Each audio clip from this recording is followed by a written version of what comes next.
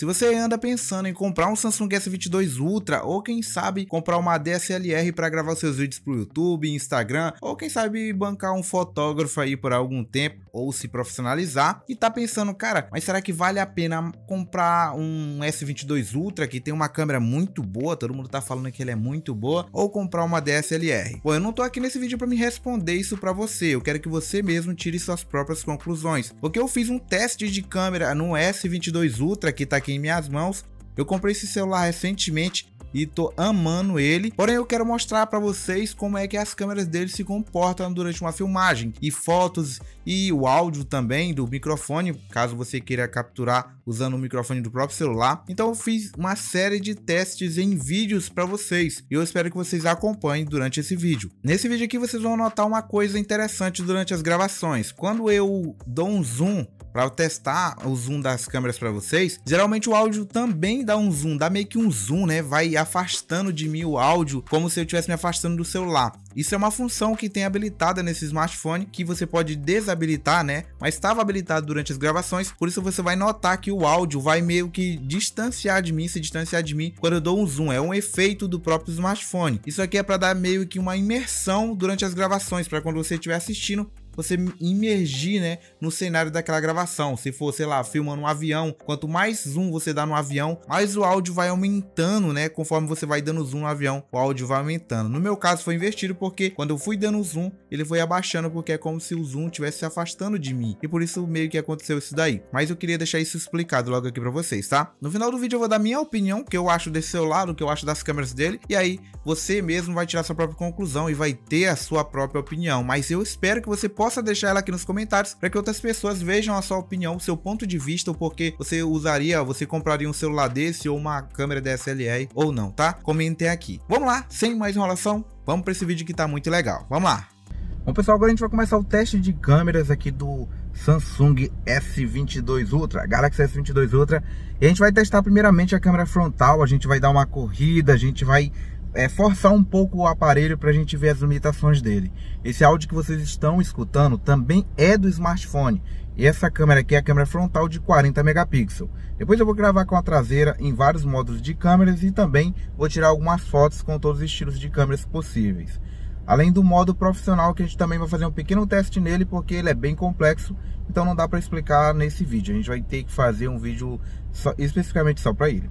Então vamos iniciar aqui, né? Estou gravando aqui com a tela em pé e a gente vai começar a virar a tela para começar a captar a imagem, né? Que é a dimensão natural do YouTube. Então vamos lá. Pessoal, já estou gravando aqui com a dimensão certa, né? 920 por 1080 e gravando com a câmera frontal ainda, né? Câmera frontal 40 megapixels, é, 4K. Tô gravando em 4K 60 fps, é 4K 60 fps, né? Em UHD 60 fps. Essa é a função que tem na câmera. Bom, a gente está testando ela aí, ó. Estou andando, estou mexendo e a estabilização dela da frontal também ainda está muito boa, né? O microfone que vocês estão ouvindo também é o microfone nítido da câmera. Aí é, a gente pode ver que ela manda muito bem nessa câmera aqui.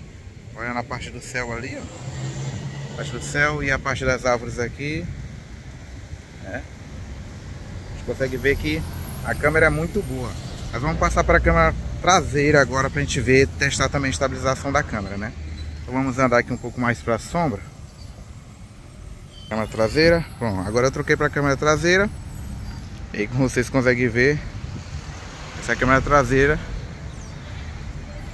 E eu vou botando também as especificações da câmera tudinho aí do lado para vocês conferirem, né? Ó, se liga a qualidade dessa câmera.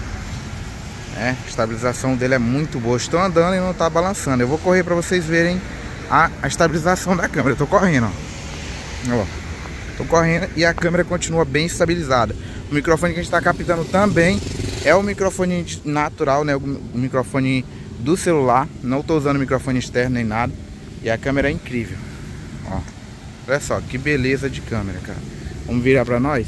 Bom, agora eu tô gravando aí Pra mim, agora eu vou, vou conferir qual é a câmera que a gente vai gravar agora. Pera aí, deixa eu conferir aqui. Muito bom, pessoal. Agora a gente estamos gravando aí a 60 fps, só que com a dimensão 1080 por 920, né? Então a gente vai testar aqui as, as câmeras, o, tipo, o estilo de câmera, os estilos de câmera. A gente vai testar aqui a câmera ultra wide, ó como fica mais aberto. Estabiliza também muito bem. Essa câmera desse celular realmente é absurda. A gente vai também aqui para a câmera principal. Qualidade absurda. A gente vai aumentando agora o zoom aqui para o TX. Observem só a nitidez, estabiliza também muito bem. Observem que eu movimento aqui o celular e ainda assim ele continua do mesmo jeito. Vamos focar ali no parquinho lá. Ó. Vou voltar para 1x. E agora a gente vai voltar para 3x. Vamos colocar agora aqui no 10x.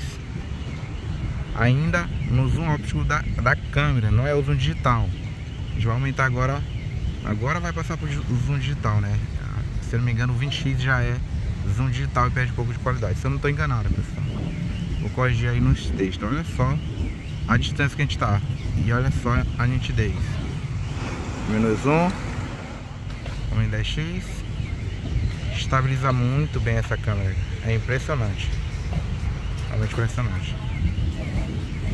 Vamos trocar agora para 60 fps. Vamos voltar para a câmera principal. E vou gravar 30 fps para vocês verem aí também que fica com a qualidade realmente ainda excepcional. Esse celular de câmera, ele é incrível. Bom, agora a gente está Full HD a 30 fps. Você percebe já que fica um, a, quando você movimenta, ele vai meio que dando um motion blur né, na imagem. Vamos dar o zoom de novo.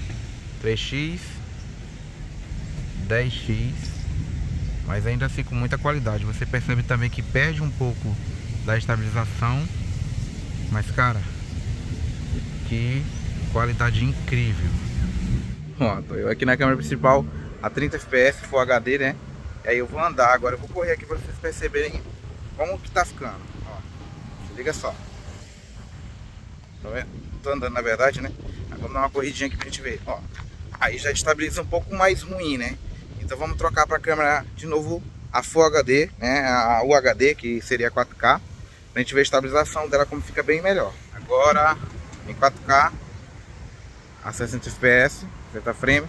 A gente pode correr aqui, ele estabiliza muito bem a câmera. Estabiliza muito, muito bem. Não sei por que, que essa a estabilização no 4K fica melhor. Na verdade fica melhor, né? Claro, o FPS fica mais alto também e é claro, vai ficar bem melhor. Mas quando você corre, estabiliza muito bem. Muito bem. Então dá para você gravar vários estilos de vídeo aí com essa câmera.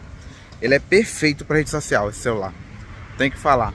O microfone todo desse vídeo está sendo captado, né? Com exceção, é claro, da abertura. É, provavelmente a abertura vai ser gravada lá no estúdio, mas está sendo captada pelo celular. Essa é a câmera traseira, frontal do celular que vocês estão vendo, né? Gravada em 4K 60 fps. Está muito boa, muito boa mesmo. Incrível, incrível, incrível. É um celular que eu não sei nem explicar a potência assim, a a maravilha que é esse smartphone. Mas eu curti muito e eu acho que foi uma boa aquisição, né? Mas comenta aí você aí, o que tu achou do, da qualidade da câmera de celular? Deixa nos comentários se teria coragem de se atreveria a comprar um celular, um smartphone desse nível, né? Porque eu tive e até agora não me arrependo. Comenta aí se ficou alguma dúvida. Vou deixar agora para vocês as fotos, né? Com modo retrato, e no, nos modos da, das câmeras em fotos eu vou botando aí é, a legenda nas fotos. Confere aí.